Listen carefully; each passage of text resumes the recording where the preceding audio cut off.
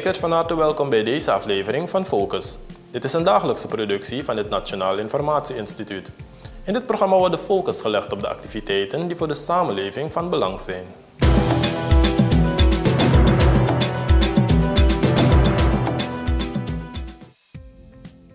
Vandaag in Focus.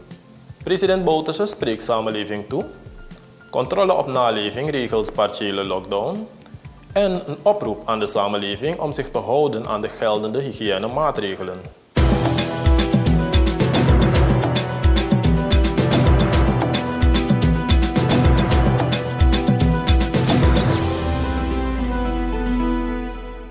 President Desiree Bouterse heeft zich enkele dagen teruggetrokken om zich samen met andere leiders te buigen over actuele vraagstukken.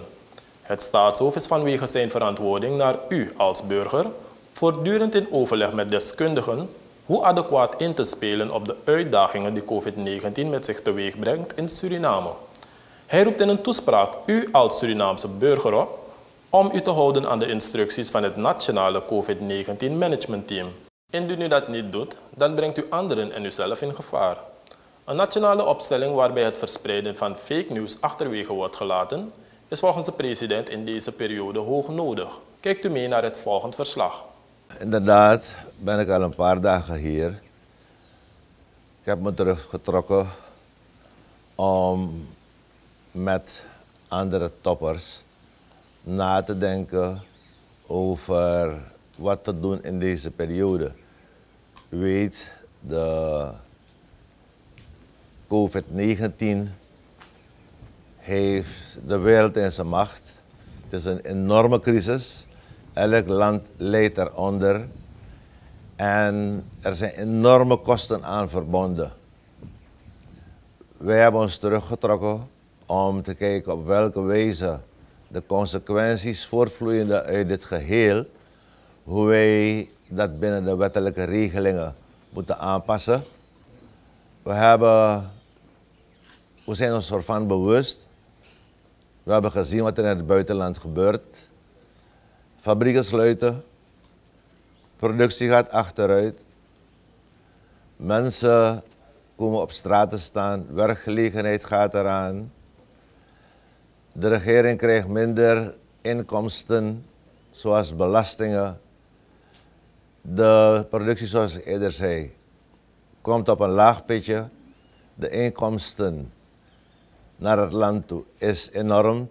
Tegelijkertijd dreigt jouw heel particulier leven in elkaar te storten. Uh, de jongeman die taxi rijdt, heeft bijna geen ritten. De buschauffeur heeft bijna geen ritten. We weten dat onze Pokémons nagenoeg elke week en zeker ook tussendoor verjaardagen, maar elke week hebben ze hun inkomsten. Er mag niet, je mag niet in grotere groepen dan tien volgens de WHO bij elkaar zijn. Dat wil zeggen dat alle afspraken die gemaakt zijn, zijn afgelast. Maar zij op een of andere manier moeten deze mannen aan middelen komen. En het land zelf heeft die middelen niet. En tegelijkertijd hebben we de verantwoordelijkheid dat u moet kunnen eten, u moet kunnen bellen, u moet medicijnen hebben en zo kan ik doorgaan. We hebben de verantwoordelijkheid en voornamelijk naar de kleine man toe. Daarom heb ik me hier teruggetrokken en gekeken hoe dat internationaal gaat. We hebben de triljoenen niet zoals eh, Amerika nu meer dan 2 triljoen heeft bijgedrukt om uh, dit soort sociale vangnetten op te, op te zetten. Maar tegelijkertijd willen we dat onze mensen, en zeker onze kleine man, weet dat de president en zijn team constant aan hun denkt, aan de omstandigheden waarin zij verkeren, de ruimte die we moeten creëren dat deze mensen hun gezin kunnen voeden. Gelooft u me, het is een enorm probleem. Uh, mensen van het bedrijfsleven die prestaties geleverd hebben, moeten betaald worden. We moeten het allemaal op een rijtje zetten. Uiteindelijk ga je moeten betalen. Je gaat met de mensen moeten afspreken. Ik betaal je in porties. Wie komt eerst aan de beurt? Uh, we zullen met het bedrijfsleven moeten afstemmen. Welk gedeelte eh, van het sociaal vangnet, om het even maar voor het gemak zo te noemen. De minister van Financiën heeft een, ander, heeft een andere technische benaming daarvoor hoor. En daarom vraag ik, heb ik gevraagd, hou je aan de regels van ons COVID-team. Daarom heb ik gevraagd dat we nu absoluut geen politiek moeten bedrijven met deze kwestie. Daarom heb ik gezegd, we hebben alles en iedereen nodig om samen te kijken hoe wij gaan overleven. Edoch, je ziet dat een groot deel gehoorzaamt, een groot deel begrijpt het. Toch zijn er sommige mensen die wat, ik wil bijna typeren als qua jonge streken willen uithalen. Niet beseffende in welk gevaar ze de gemeenschap van ons vandaag aan de dag brengen. Hunzelf in gevaar brengen, maar ook anderen. We weten hoeveel honderden doden per dag in Italië te betreuren zijn. We weten hoeveel honderden in New York, we weten hoeveel honderden per dag doodgaan in Europa. Maar onze mensen beseffen het niet. Wij zullen met goede voorlichting nog meer tot hun moeten doordringen. En we zullen een beroep moeten doen om de mensen die met fake nieuws komen, om nog meer verwarring te zaaien, om hen te vragen voor een nationale opstelling. Want dan hoor ik, we gaan de minister van Financiën opsluiten. Dan hoor ik, die heeft corona. Dan hoor ik, we hebben olie van de muil verkocht. Het, zijn, het is heel raar hoe we met elkaar omspringen onder deze zeer bijzondere en moeilijke en gevaarlijke situatie. Ik heb me daarom teruggetrokken. U weet, als ik thuis ben, is het heel dag poli. Allemaal in. Hier uh, is het vrij heel, heel selectief dat we mensen uitnodigen. Want we moeten met mensen praten. We moeten met deskundigen praten.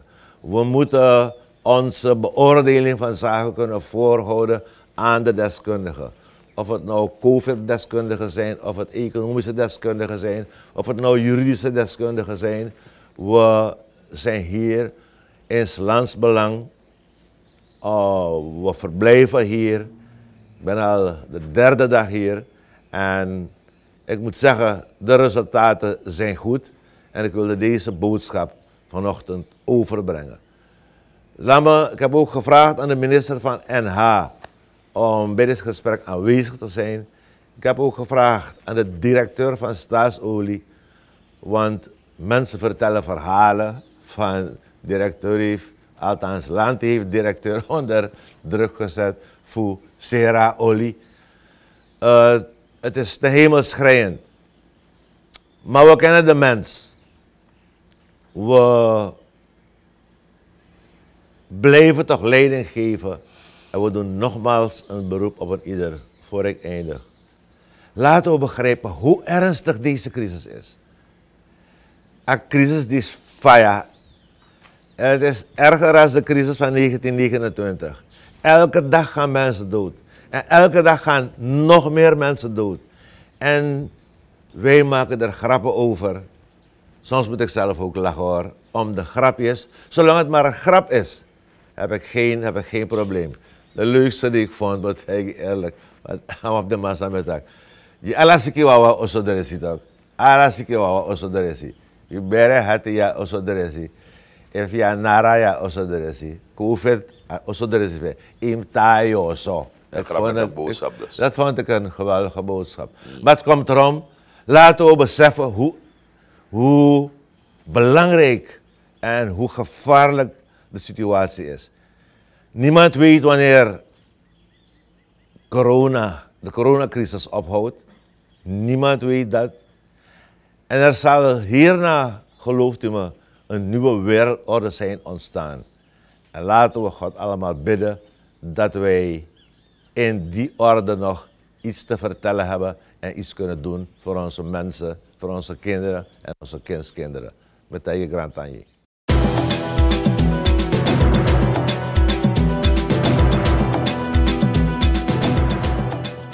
De veiligheidsautoriteiten patrouilleren dagelijks vanaf 8 uur in de avond in verband met de partiële lockdown die in Suriname is ingegaan om de verdere verspreiding van COVID-19 tegen te gaan.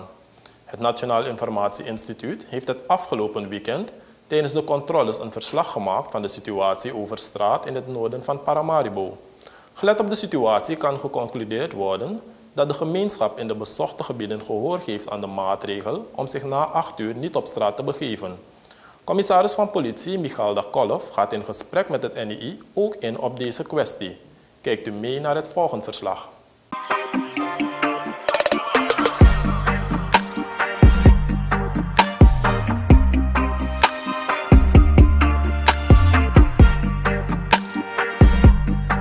Nou, je krijgt de surveillance van de politie.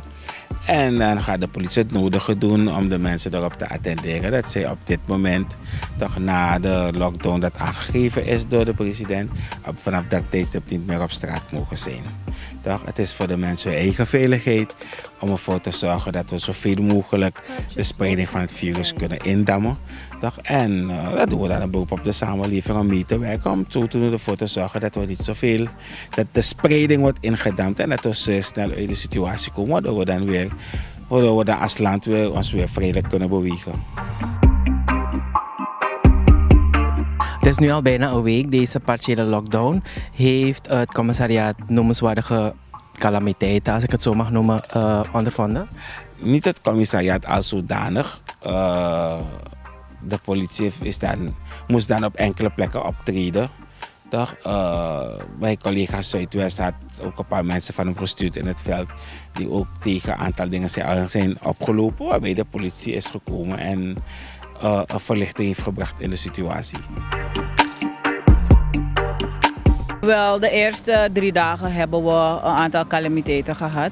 Um, mensen die een beetje provocerend bezig waren, zeker naar de politie toe. We hebben, na die drie dagen hebben we onze aanpak een beetje veranderd. En daar hebben we dus dan gemerkt dat we ook op Facebook geen filmpjes meer hebben gezien. Wat we wel hebben gehad, dat we in bepaalde buurten barricades hebben gehad. Mensen die banden in brand hebben gezoeken.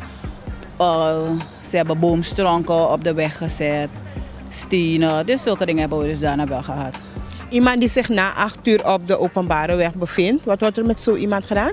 Het hangt er vanaf. Je hebt mensen die uit de middagdienst komen. Uh, verpleegsters, die krijgen gewoon de gelegenheid om hun weg te vervolgen. Maar mensen die niet kunnen verklaren waarom ze op de weg zijn, worden naar het politiebureau van het desbetreffend resort waarin ze zich bevinden uh, begeleid. En dan worden ze daar opgehouden tot de volgende ochtend 6 uur, wanneer ze zich weer vrijelijk kunnen bewegen. We zijn over straat met een gemengde eenheid en uh, het is rustiger dan we hadden verwacht. Het is veel beter, het gaat elke dag een beetje beter dan de andere dagen. We actie in die dat behoorrekening naar het COVID-virus, meer bekend als de coronavirus, Sadena Kodre Nono de, we vinden maar wat moet je die van ook doen voor mijn oproep naar de samenleving toe is, hou je gewoon aan de regels. Zie het niet als een straf, je bent thuis veel veiliger. Als we allemaal thuis blijven, zorgen we ook ervoor dat uh, we een beetje beperking leg leggen op het verspreiden van het COVID-19-virus.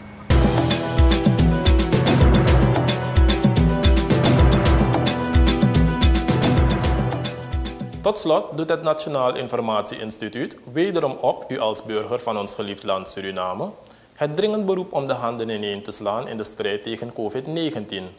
Om besmetting zelf te beperken, drukken wij u op het hart de voorgeschreven hygiënemaatregelen stipt op te volgen. Was u de handen, ontsmet waar nodig met desinfecterende middelen op alcoholbasis, Hoest en nies in wegwerpdoekjes en blijf thuis indien u grieperig of verkouden bent. COVID, COVID-19 gewoon gezond stranang. Bij vermoedens een besmetting met COVID-19 te hebben, wordt u aangeraden om direct te bellen naar de BOG-hotline op 178.